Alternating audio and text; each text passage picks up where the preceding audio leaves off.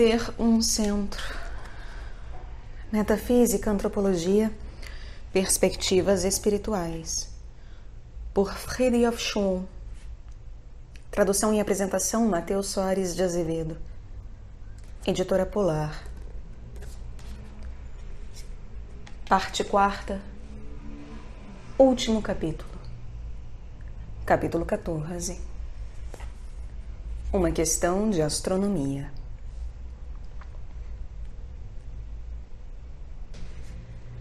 Não se pode legitimamente confrontar a astronomia de Ptolomeu com a de Copérnico sem levar em conta antes seus respectivos fundamentos e intenções.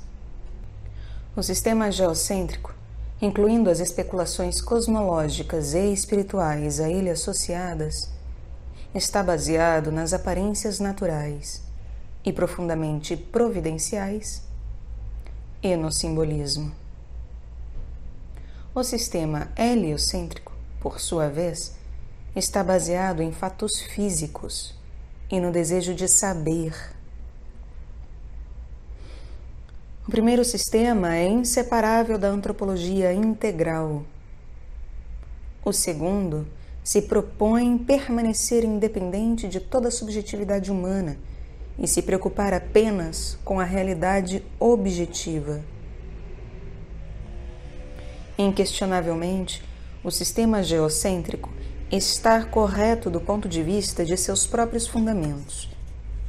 A aparência do Sol nascendo no Oriente e se pondo no Ocidente, ou da abóboda estelar descrevendo o mesmo movimento, é habitual ao homem a ponto de fazer parte de sua natureza. Ela não pode ser devida ao mero acaso, do mesmo modo como o homem não é fruto do acaso. E é por isso que deve servir como base de uma ciência que é, entre aspas, exata em sua ordem e tão complexa como o microcosmo humano. Uma nota. Para os antigos gregos e os hindus da época védica, a Terra era um disco. Mais tarde, com Pitágoras, Aristóteles e Anaximandro, a imagem predominante era de uma terra esférica, mas sempre central e imóvel. O heliocentrismo de Aristarco não teve êxito e foi a cosmografia de Ptolomeu que dominou as mentes dos homens até Copérnico. Mas é óbvio que isto não significa que o sistema heliocêntrico seja falso. Ademais, o desejo de saber e, portanto, de explorar não é menos natural ao homem. Ele é encontrado em todos os climas tradicionais, apesar dos resultados geralmente questionáveis. O desejo de explorar é legítimo, desde que não se acompanhe de especulações abusivas, nem se envolva em caminhos que excedem de fato as capacidades humanas regulares, psicológicas bem como intelectuais.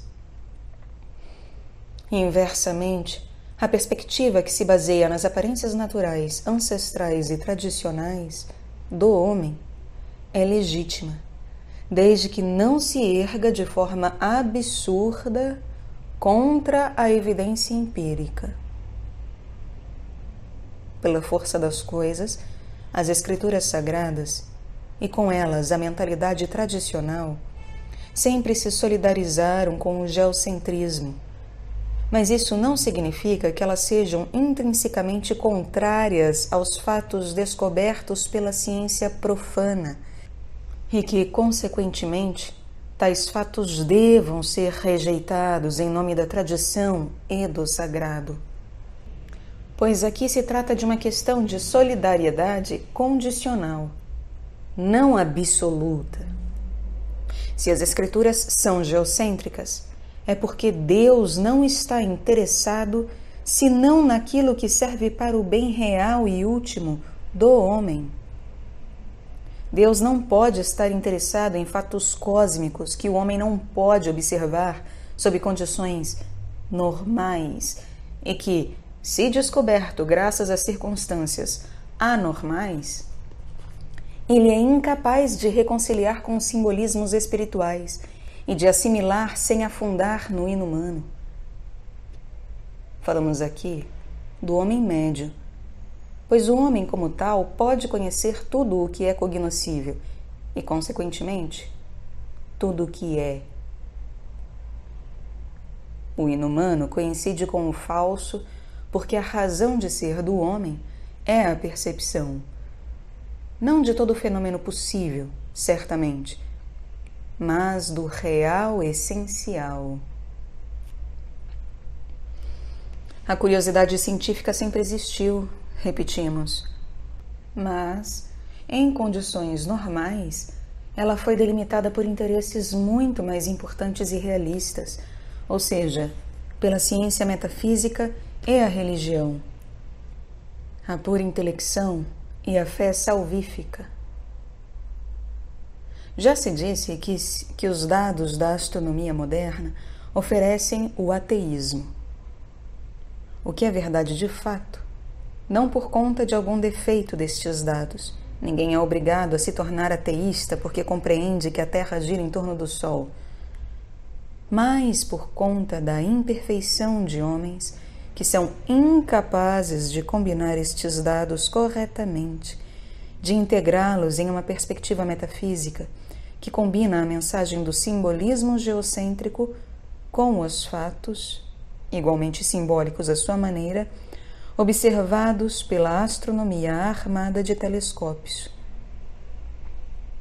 Deve ser observado, ademais, que os grandes astrônomos da Renascença foram crentes sinceros e também antes deles os astrônomos muçulmanos.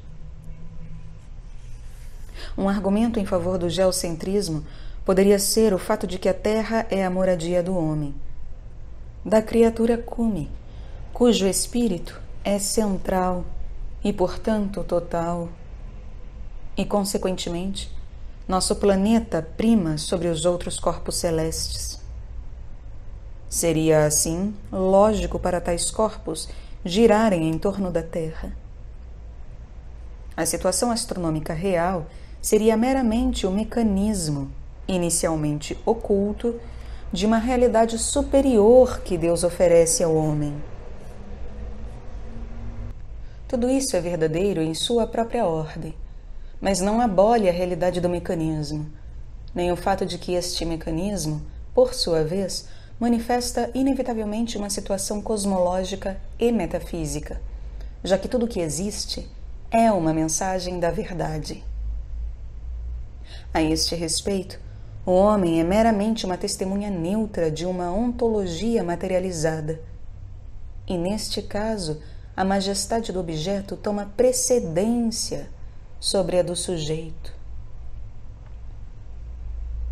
Tudo o que acabamos de dizer mostra que é aberrante fazer do sistema ptolomaico uma astronomia no sentido da ciência física dita exata, o que ela é do ponto de vista do registro de fenômenos perceptíveis, e querer opor assim o geocentrismo dos antigos, forçosamente tradicional, de fato, ao heliocentrismo dos modernos.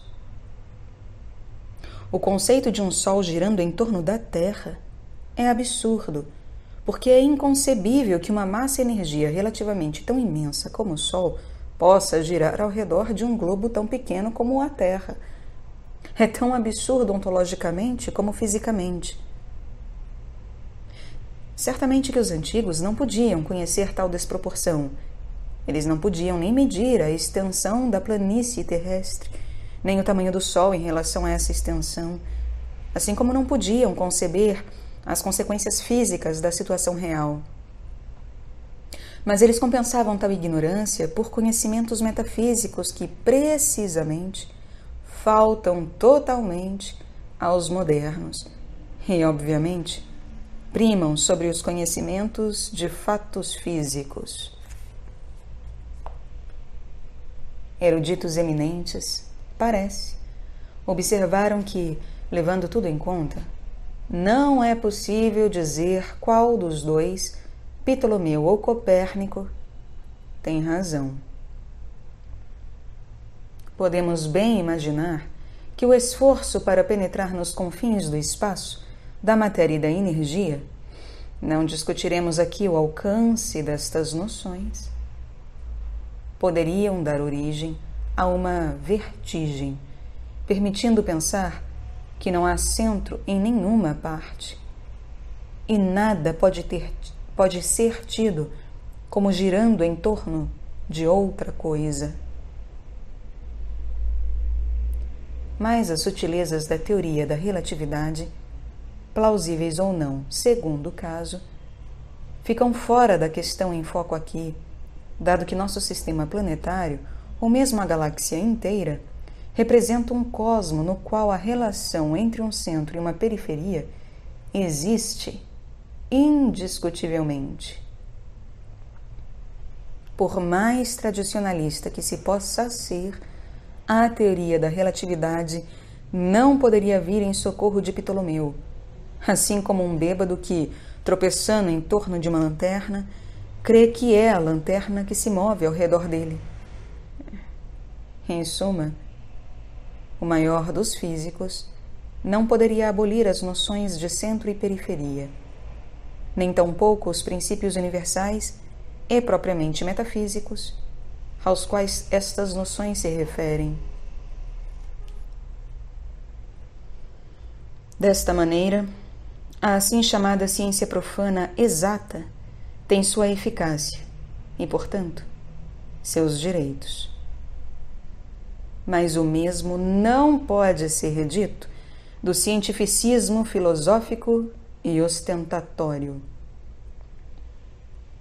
Os vícios clássicos deste cientificismo são, antes de tudo, a ignorância metafísica e, em seguida, como consequência, o empirismo e o materialismo. Um tão exclusivista como o outro. É assim que a ciência moderna ignora, por preconceito, o princípio dos ciclos cósmicos, por um lado, e o dos graus da manifestação universal, por outro. Ela ignora que o universo equivale a uma espécie de respiração divina. O hinduísmo é bastante explícito a esse respeito. E que a matéria não é senão uma casca que dissimula substâncias cósmicas, cada vez mais reais em ordem ascendente. Mas tal ignorância, nós insistimos nisso, não poderia impedir que as descobertas dos astrônomos correspondam a realidades em sua ordem, portanto, a símbolos. Nesse sentido, a posição central do Sol manifesta a prioridade do princípio supremo. Em outros termos, um grau cósmico, como o mundo físico, é como um círculo em torno de um círculo mais interior que lhe é ontologicamente superior e que lhe determina, e que pode mesmo lhe determinar acessoriamente de uma maneira toda excepcional, sobrenatural e miraculosa. Algo que, precisamente, escapa aos físicos modernos, donde este sucedâneo, que é o evolucionismo transformista. De maneira análoga, um ciclo cósmico é como uma rotação em torno de uma rotação mais interior ou mais primordial. Cada uma das rotações possíveis sendo determinada por um raio que emana do centro absoluto e que decide o ritmo das fases temporais. O sistema de círculos concêntricos que constitui o mundo, assim como o movimento espiroidal dos ciclos, é ou projetado ou reabsorvido, segundo as intenções arquetípicas do centro absoluto. O intelecto permite conceber isto, mas, obviamente, isso escapa às investigações de ordem puramente física. Retomando agora uma ideia que foi nosso ponto de partida, diremos o seguinte: a comparação entre a doutrina de Ptolomeu e a de Aristarco, ou a de Copérnico, nos ensina que há essencialmente dois tipos de aparências, isto é, a aparência que corresponde a uma substância e funciona como um símbolo, e a aparência que corresponde a um acidente e é meramente uma ilusão sem importância. Assim, o nascer do sol representa um ensinamento fundamental, enquanto uma miragem no deserto se reduz a apenas uma ilusão de ótica. Poder-se-ia também observar que o aparente movimento do sol e dos céus estrelados constitui uma mensagem divina, enquanto o movimento da Terra em torno do sol não é senão o mecanismo desta mensagem, pelo menos com respeito ao homem.